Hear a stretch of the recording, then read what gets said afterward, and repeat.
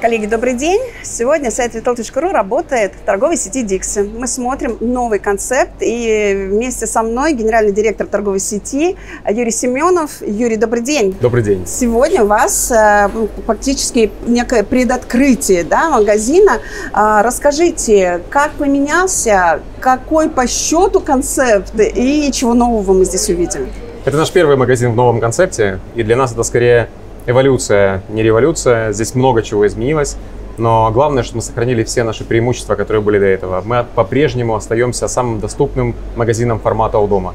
Но при этом мы отвечаем всем потребностям нашего покупателя уже в новом современном мире. Все-таки концепт, это формат, это а, дискаунтер или... Это не дискаунтер, это формат у дома, но с а, достаточно большим упором на convenience, то есть на удобство магазина, где мы добавляем готовую еду, мы добавляем готовые решения, у нас появляется касса самообслуживания, и в целом формат отвечает современным потребностям. Я предлагаю, конечно же, в формате видеорепортажа прогуляться по магазину и покажите, что такого нового здесь появилось, а что сохранилось э, с эволюцией, да? Давайте сразу начнем со входа, потому что уже здесь мы видим новшество для нас. Это покупатель, входя в магазин, он в первую очередь встречает готовую еду, которую мы только что с вами прошли. Uh-huh. Далее у нас открывается с вами новая для нас категория. Это категория выпечки, категория кофе, где покупатель быстро может совершить покупку а, с миссией перекуса. Ага, то есть это у нас получается первый круг, коротенький, Верно. самый быстрый. То есть угу. вы можете взять здесь то, что вам нужно в первую очередь, и далее сразу проследовать на кассы самообслуживания, к которому мы дальше с вами пройдем. Угу, угу. Это уже в финале, понятно. Так, а здесь э, что еще мы такого яркого, нового видим? Я-то вижу много. Мы, конечно же, встречаем нашего покупателя всегда фруктами и овощами, потому что это Ассоциация свежести – это одна из самых востребованных категорий. Более того, по, по объему она тоже достаточно большая для нас. Угу. И здесь у нас начинают появляться сами первые товары, которые мы называем герои. Угу. Для нас это яблоко. Вы видели, наверное, на фасаде у нас появилось большое зеленое яблоко, и появилось оно не просто так. Угу. И сейчас мы посмотрим, почему. Угу. Да, цена, конечно, удивляет. Яблоко на фасаде у нас на одном из самых видных мест уже внутри магазина. Вы видите, что здесь у нас представлены две позиции. Это красное и зеленое яблоко. Мы даем покупателю выбор. Держим самую низкую цену по рынку. И для нас это принципиально. Мы даем хорошее качество по самой доступной цене. Юрий, э, но я не могу не отметить еще и само ощущение от магазина. Да? То есть, э, с одной стороны, я вижу явно ретроспективу к предыдущему формату в части вот этой сетки, но которая уже немножко изменилась. Что еще вот на, в части торгового оборудования или вот каких-то таких таких вот элементов вы можете подсветить для того, чтобы ну, вот максимально было понятно, что у вас идут изменения? Мы сохранили наш базовый оранжевый цвет, который нам дорог и к которому привыкли наши покупатели. Но к этому оранжевому цвету мы добавили яркий фиолетовый цвет, uh-huh. который ассоциируется с эмпатией, с достоинством и который является современным. Uh-huh. Но а, все эти изменения мы также перенесли и на оборудование. Вы можете посмотреть на примере холодильного оборудования. Появляется наш оранжевый цвет, дорогой всем, но он появляется немного в более современном виде. Оттенок тот же, но появляется перфорация, которая добавляет этому новизне. Юрий, если мы говорим про формат магазина, количество квадратных метров, сколько SKU в ассортименте, что можете по этим цифрам сказать? Однозначно коллегам будет интересно. А, наш формат, если усреднить его, предполагает площадь торгового зала приблизительно 350 квадратных метров.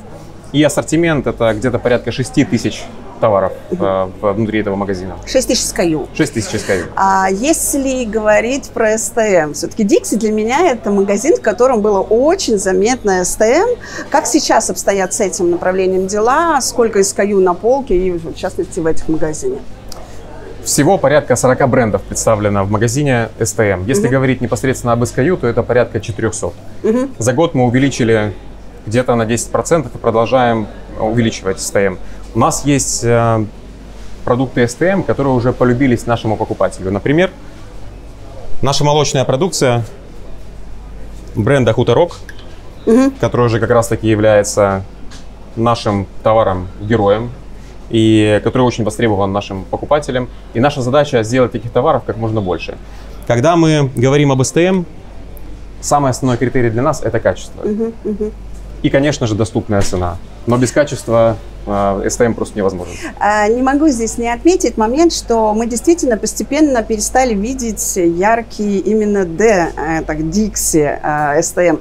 То есть вы полностью расстались с этим направлением? Ну, если можно прокомментировать это. Здесь ставить только D на ассортимент, на мой взгляд, покупателя мы иногда путаем. Потому что если вы увидите просто D на молоке, согласитесь, это никакого ассоциации к, к молоку, наверное, не дает. То есть, условно, это больше уникальный продукт, который можно купить только здесь, и это ваш, э, ваш Верно, это марка. товар, который можно купить только внутри магазина Dixie. Угу. Во-первых, я однозначно отмечаю, светло в магазине, все видно. И вот я бы хотела, чтобы с этой точки мы еще посмотрели на некоторые моменты.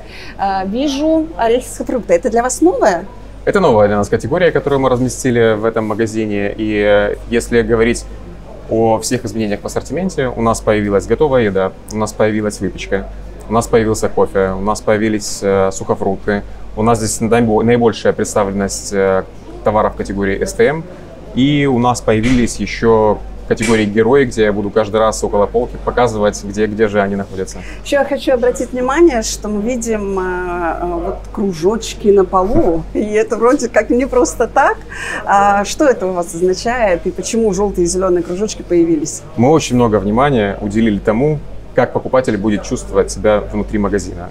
И постарались сделать его максимально светлым, максимально ярким, и что самое важное, наверное, для нас, это максимально эмоциональным. Угу. Вы видите, что здесь появились не только кружочки, но здесь появилась и коммуникация с покупателем. Мы стараемся в каждом уголке магазина разговаривать с покупателем. Где-то у нас есть шутки. Вы видите, что часть коммуникации над стеллажами, она, конечно же, несет и смысловую нагрузку, но и в том числе дает небольшую шутку на примере вот этой колбасы. А, еще момент э, касаемо все-таки покупателя кто, какой целевой сейчас портрет покупателя вы а, для себя а, можете назвать? Новым концептом мы хотим сохранить и имеющегося покупателя, и привлечь нового. Кто для нас новый покупатель? Это скорее молодежь. Для молодежи мы хотим сделать магазин таким, чтобы он показался им ярким, современным. Мы на входе посмотрели маленький круг. Сколько кругов вообще а, покупательских вы можете выделить э, в этом магазине? Я скажу вам так, здесь всего три покупательских пути. Угу. И каждый из этих путей мы прошли практически самостоятельно. На этапе планирования магазина, на этапе, когда мы ставили оборудование, на этапе, когда мы ставили ассортимент и даже пытались совершить эти пробные покупки. И это действительно работает. Объясню вам, чем они отличаются. Первый путь самый простой и самый короткий. Мы даем покупателю возможность зайти в магазин, купить готовую продукцию, например, выпечка или какой-нибудь салат или сэндвич, кофе, напитки и сразу проследовать на зону кассы самообслуживания, совершив покупку и покинув магазин максимально быстро. Угу. Следующий путь, он, как мы называем его, средний, где покупатель уже может купить не только готовую еду, но и также ту еду, которую он может приготовить быстро. Вот мы сейчас находимся да. на этой петле. Да, например, э, зона мясного прилавка, например, зона молочной продукции. И точно так же покупатель совершает э, достаточно быстрый круг, не проходя к дальним стеллажам, выходит в зону самообслуживания. И самый длинный путь это уже когда мы даем покупателю возможность совершить полную покупку э, со всеми категориями. Здесь уже предусмотрен максимально широкий радиус обхода магазина, и категории расположены таким образом, что если ты хочешь купить продукты на неделю, то как раз удобно пройти именно этим маршрутом. Ну, давайте сейчас по третьему кругу уже будем идти. А, здесь уже стоит поговорить о том, сколько людей сейчас работает в этом магазине, что было улучшено сделано для того, чтобы было проще работать персонал. Сколько персонала и что проще? Очень актуальный вопрос для нас, действительно. Что касается персонала, то если взять такой же сопоставимый магазин, но в старом формате количество персонала не изменилось. Угу. Мы не добавили и не убавили. Но при этом мы добавили технологии, которые существенно упрощают работу нашему персоналу. Угу. Касса самообслуживания это самое простое, что можно из этого назвать, потому что не требуется дополнительно кассира сажать на эту кассу. Есть технологии непосредственно в инфраструктуре магазина. Ну, приведу, приведу пример. Здесь есть технология, которая отслеживает наличие товара на полке, э, и если видит технология, что товар не продается, угу. она отправляет сигнал нашему сотруднику, пожалуйста, пойди проверь. Угу. Есть ли товар, есть ли ценник. Угу. И эта технология призвана скорее облегчать работу нашему продавцу. Она работает только по принципу приоритизации. То есть самые топовые продукты она не будет гонять э, к каждому SKU на полке, угу. но она при этом задает фокус внимания на тех категориях, которые нам действительно важны. Не могу сейчас э, не заметить большое количество все-таки желтых и зеленых ценников, и вижу еще стоперы, э, которые связаны там с импортом. А, какие градации у вас именно в такой формате реализованы, да, то есть именно про, если мы говорим именно про ценники и про предложения для покупателя? Скидки наши, все, да? У вас очень хорошее внимание. Вы сразу заметили появление новых ценников зеленого цвета. Ага. Желтые – это наша база скорее. Это акцент на том, что мы огромное внимание уделяем нашим промо-товарам. И кроме того, что у нас всегда низкие цены, у нас еще достаточно большая доля промо. Что такое зеленый ценник, который появился здесь? Это ценник, который показывает, что именно эта позиция будет стоить всегда дешево. Здесь нет промо, здесь нет изменения цен. Сегодня дешево, завтра дорого. Эта позиция будет стоить всегда дешевле. Угу. Просто этот же момент вижу в зеленом цвете на полу? Здесь вы тоже показали свое очень хорошее внимание. Действительно так. И вы видите, что постепенно вот эти зеленые кружочки на полу, они приводят нас к стеллажу, угу. где тоже присутствует зеленый цвет и написано просто выгодно. Угу. Здесь представлены товары по ценам, которые всегда будут низкие. Мы называем это EDLP Каждый день низкая цена. Ну и получается, у нас здесь есть желтые, и, соответственно, здесь у нас э, чем отличается вот просто выгодно от... Да, отличный вопрос. Здесь стеллаж, на котором расположены акционные товары.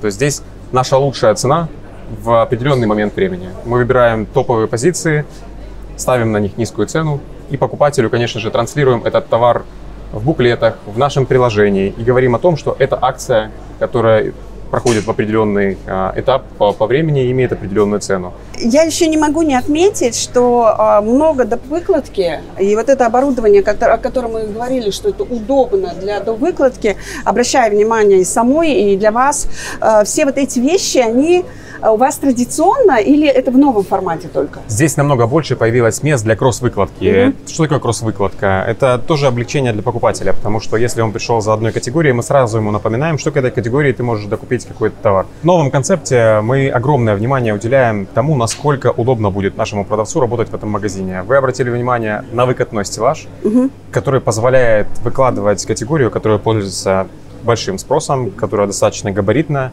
Это удобно и покупателю, потому что он сразу ее видит, и продавцу, потому что он может максимально быстро выкатить ее в торговый зал. Ну что ж, ну мы уже в кассовой зоне, и кассовая зона у нас достаточно лаконичная, при этом она довольно много места занимает для того, чтобы а, ну, комфортно было людям. Сколько у нас точек для выхода? У нас а, две основные кассы с лентопротягом и четыре кассы самообслуживания, где покупатель может самостоятельно совершить покупку, не обращаясь к кассиру. Если взять все магазины, где есть кассы самообслуживания и посмотреть долю продаж, которая проходит через эти кассы, то на сегодняшний момент приблизительно 40%. Угу. И она растет. Хорошо, что у нас современный покупатель и хочет пользоваться технологиями. Ну что ж, коллеги, мы основную прогулку по магазину уже завершили. И, Юрий, э, сейчас хотелось бы понять, э, как быстро вы собираетесь распространять данный концепт э, на магазины, сколько мы ждем магазинов и где в новом формате? За год мы обновили около 280 магазинов уже. Да, это предыдущий концепт, тем не менее, он тоже достаточно современный. Этот новый концепт – это скорее следующий шаг. И это следующий шаг, который мы делаем уже в этом году. На следующий год планы по обновлению около 300 магазинов. Угу. Это очень много для нас, потому что если посмотреть от общего количества магазинов, это порядка 15%. И именно в следующем году мы планируем, чтобы большая часть наших обновлений была уже в новом концепте. А Москва, Санкт-Петербург, какие регионы? Исторически Дикси больше представлен в Москве, в области Московской, в Санкт-Петербурге и Ленобласти. И, конечно же, основной упор мы будем делать на те регионы, где присутствует наш покупатель. Это Москва, Московская область, Санкт-Петербург и Ленобласть. А, Юрий, большое спасибо за то, что смогли прогуляться со мной по магазину. И вам Коллеги, спасибо. современный магазин. Я не устаю говорить о том, что в России современная розница, и здорово, что такие яркие, хорошие магазины появляются.